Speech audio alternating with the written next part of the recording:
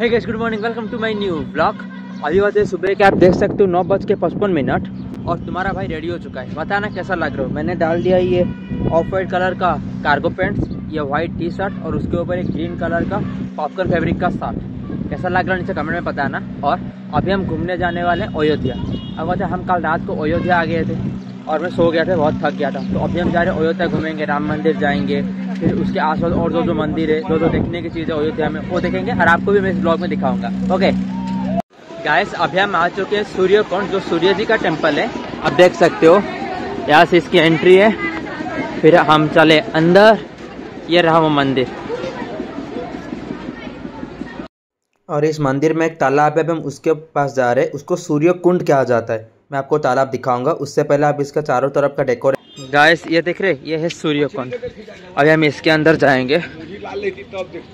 Okay चलो। हम्म,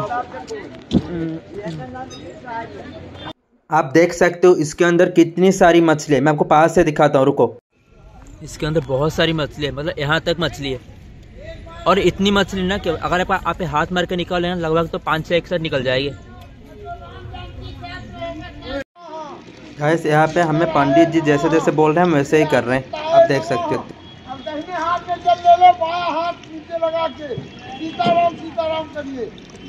ये राम जानकी का चित्र है। पहले सीता पीछे राम गैस देखो मैं अभी ये जो मच्छियों का खाना डालने वाला हूँ देखो कैसे आएँगे। ओके? देखा मतलब बोला ना बहुत सारे मछली है इस कुंड में। ये सूर्य कुंड के जो टेंपल है ना वहाँ पे आप चाहो तो इसको पॉज करके पढ़ सकते हो इसके अंदर क्या लिखा गया है। ओके? और यहाँ इसके ऊपर एक और मंदिर है। चलो चलते हैं। आ,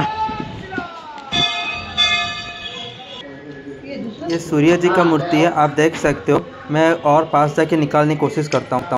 और गाइस इस सूर्य कुंड टेंपल में ना पार्क भी है। आप देख सकते हो वहाँ दूर दूर तक।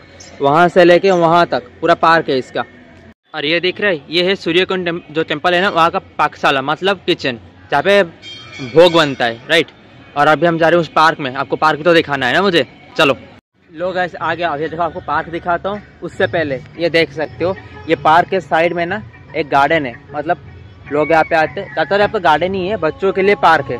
ओके, ये देख सकते हो, ये है पार्क। क्लियर से दिख रहा है ना आपको? ये सारे बच्चों के लिए है खेलने के लिए। अच्छा है।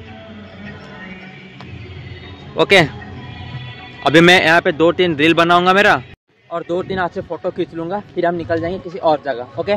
बाय